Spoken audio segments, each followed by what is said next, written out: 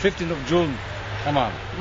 Never. Sometimes was uh, uh, frozen rain counts, but it was just a little, not like this. You can see that that is a, big, big ball of ice.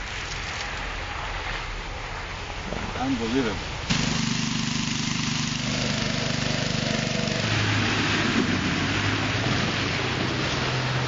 Mess.